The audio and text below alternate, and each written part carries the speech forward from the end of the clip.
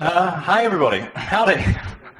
Um, I'm, I'm really happy to be here at the first uh, Emacs conference. I, I was reflecting that I'd known when I was a boy that there was going to be an Emacs conference one day. It would have certainly been my dream to come here and give a talk for all of you. So thank you, everybody, for making that happen. Um, exactly. Um, so uh, my talk is, is uh, called How to Write a, a Fancy Emacs-based IDE like Slime.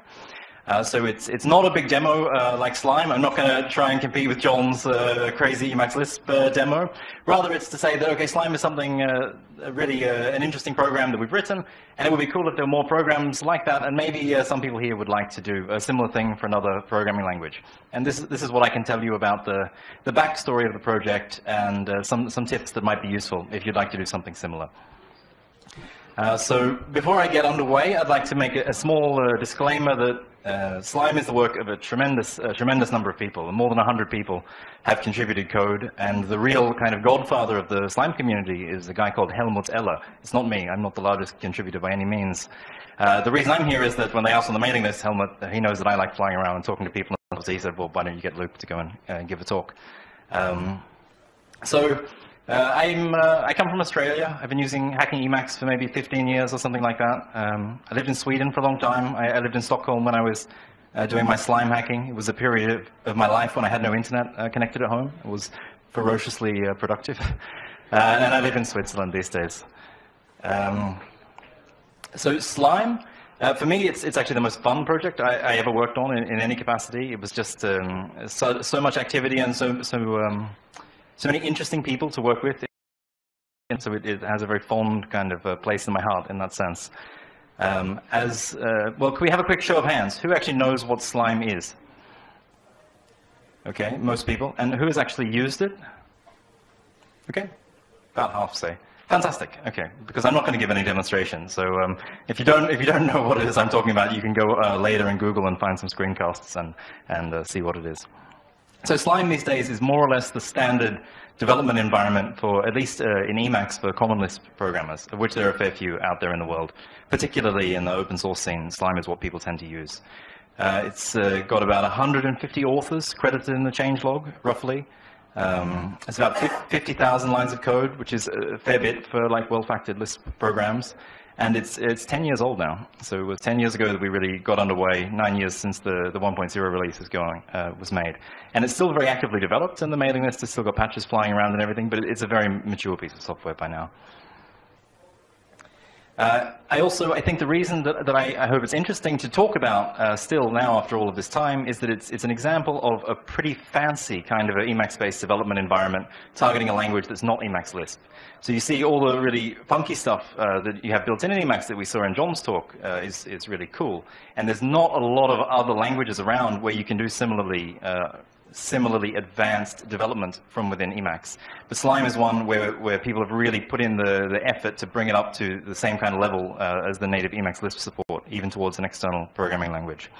So uh, there's, there's a tremendous number of features that you need to do this. The history of the history of Emacs working together with Lisp programming is, is uh, very long. So since the 1970s or something, people have been using these together. And that means there's uh, an incredibly high um, cost of entry in terms of features just to be taken seriously. So Slime has maybe 100 features that people have had to, to implement that are kind of hardly worth mentioning. It's just that people would just throw it away and say it was crap if it didn't have each and every one of them.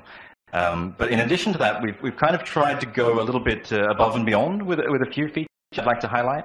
Uh, one is uh, the treatment of uh, compiler error messages. So one thing that Common Lisp systems are very good at is giving you a lot of uh, comments and notes about your programs, particularly if you ask them uh, to, to, give you some hints about how to make them run faster. It's very common to get hundreds or thousands of lines of, uh, of output from the compiler when you compile a program or even when you compile a function. And uh, this was always a big problem for people uh, using uh, compilers like CMUCL. And one uh, really great feature in Slime is to take all of those messages and kind of light up your, your Emacs buffer like a Christmas tree, putting every message on exactly the expression in the source file uh, that it applies to, so that you actually have enough context to, to make sense of them, which solved a problem that, that a lot of people related to. Uh, another feature that I'd like to highlight that that's pretty fancy is, is one called Presentations. Uh, this comes out of somebody's PhD thesis from MIT in the 80s, and it was popular on the Lisp machines. So that is where every time, every time you evaluate some Lisp code and you print a result, uh, the result is, it's not just a string. Uh, so it's converted to a string so that you can print it in an Emacs buffer, like the readeval print loop, but it also has a, is tagged with a text property that is effectively a back pointer to the object in the running system with some type information so that Emacs knows what it is. So for example, when you define a function, you see the function name uh, appear in the readeval print loop, you can right-click on that, and Emacs knows that it's a, a, common Lisp function and gives you a little context menu. And you can say, for example, show me uh, every place where this function is called, or disassemble this function for me and show me you know, what, what the compiler has done with it.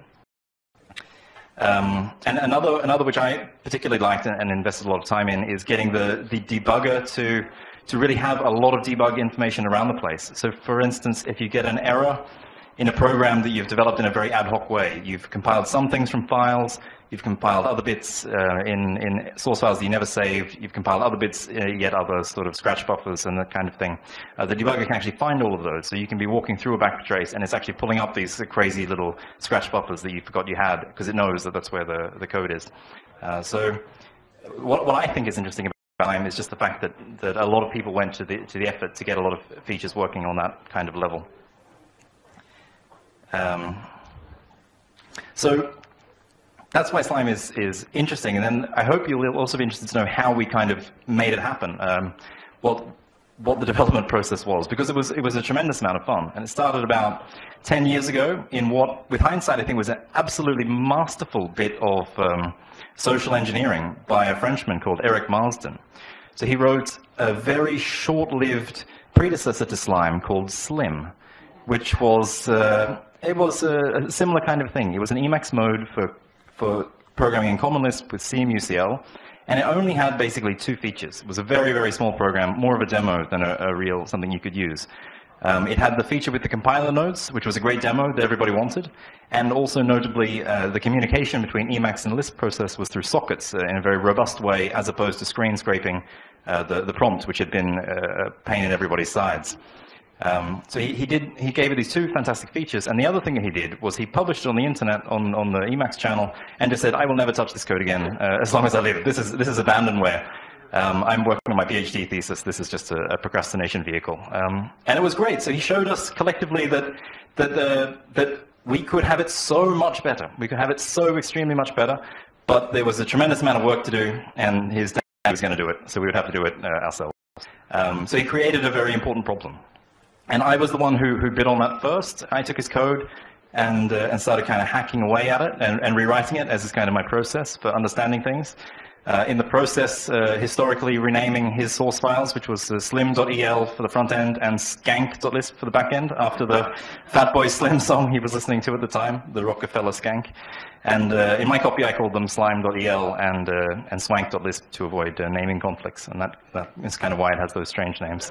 Um, and I hacked away on that and, and did some rewrites and stuff for maybe a week or so and then uh, thought I had brought it to a good place and, and, wanted some more expressions of interest. And I posted on the CMUCL development list.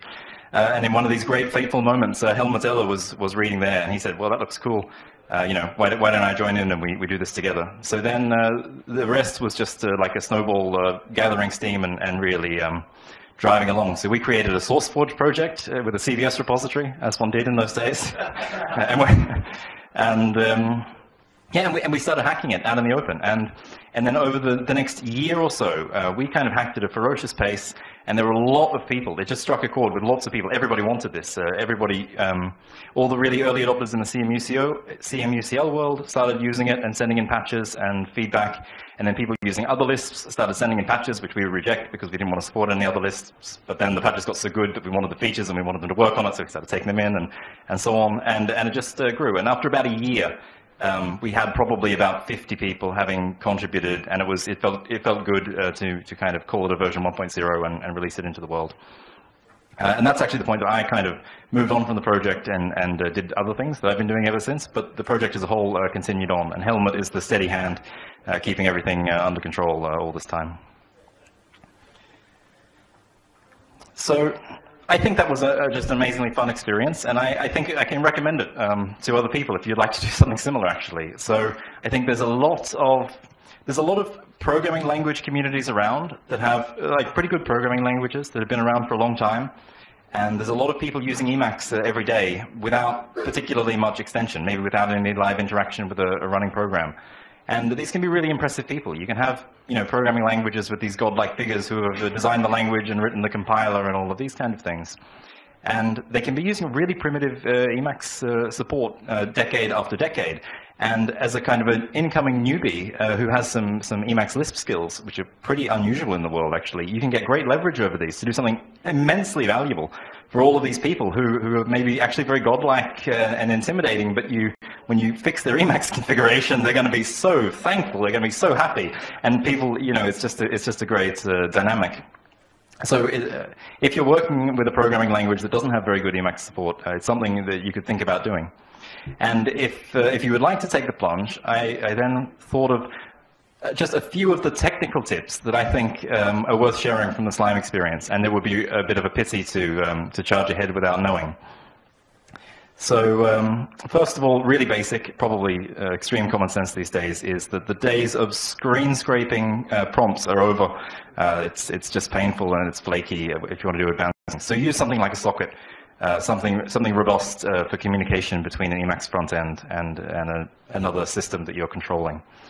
Uh, another thing uh, on the protocol level is that we started off with a very synchronous request-response design and then moved extremely far from that uh, towards asynchronous design, which was which uh, was fantastic in terms of getting robustness. So, so in the beginning we had a socket, and every time you would run a command, like you would want to uh, you want to compile a function, so you would run the compile command, and Emacs would take the text, send it off to Lisp, and then kind of block the whole world until the response came back, uh, which uh, is painful, uh, especially if it takes a long time to compile or if you're running over a laggy connection or something like that. So the next step that we took was obviously just to send the request and let you edit until the reply came. But it was quite a, quite a bit more refinements that were really worth doing. So the next really important thing was to make Emacs not really care if the response came at all, and also if it would send a lot of requests in parallel to not particularly care about the order in which uh, the results would come back. So this turned out to be just absolutely crucial in terms of dealing with a, a really kind of funky multi-threaded Lisp that's doing signal handling, that's entering the debugger recursively and all of these kind of things. It was a lot of kind of banging our heads and, and getting these strange uh, synchronization errors until we just took all of the state out of Emacs and just made it as, uh, as lightweight as possible. And uh, the, the third thing is kind of controversial, and a lot of people were really pissed off about this in Slime, but I think it was fantastic. Uh, was we, we never made uh, we never made releases. So if you wanted to use Slime, you had to check it out uh, from the repository um, directly off the off the bleeding edge. And the reason for this was to create a, a, a, really tight positive feedback loop with all of our users. So we knew in the beginning that there was going to be lots and lots and lots of problems. There are these small features that people have been using uh, in, in predecessors to Slime all of their lives, and they're going to freak out when they see that they're not there, and they're going to be screaming about it all over the internet. Or they're going to be using a funny version of Emacs or XEmacs or have some customization, and it's just going to you know, fall over when they try to load things. And what we wanted was that Every time someone has one of these problems, the time it takes for us to fix this and get the change into their hands and make them happy and make them say nice things and encourage us, we just wanted that to be going uh, really, really fast. And the way to do that was to make sure everybody has a working checkout, so it's just one command for them to take a change after you've pushed it, and then actually to troll the internet, troll all of these like horrible Usenet groups and just see all the horrific things people are saying about your program and, and just kind of fix them in the background and, and hope that the comments start becoming more, more positive over time, which I think that they, um, they inevitably do. And uh, yeah, that's what I wanted to tell you. Thank you very much for your attention.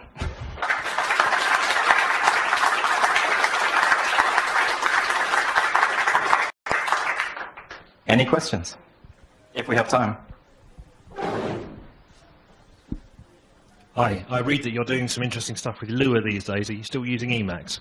So I'm, I am using Emacs. I'm going to do Eric Marsden here. I can say that, that uh, in the Lua world, I'm extremely disappointed uh, with, uh, with the Emacs support, but I'm damned if I'm going to write another like uh, year's worth of uh, Emacs hacking. So if anybody here would like to do uh, like a, a, small slime for Lua, you would be my hero. Um,